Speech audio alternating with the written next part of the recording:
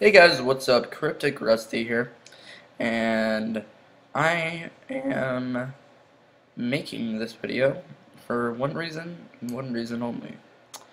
Uh, well, it's just my normal Wondershare. Well, besides I changed the look or the icon to that, but guess what, guys? Uh, bought the full version yesterday.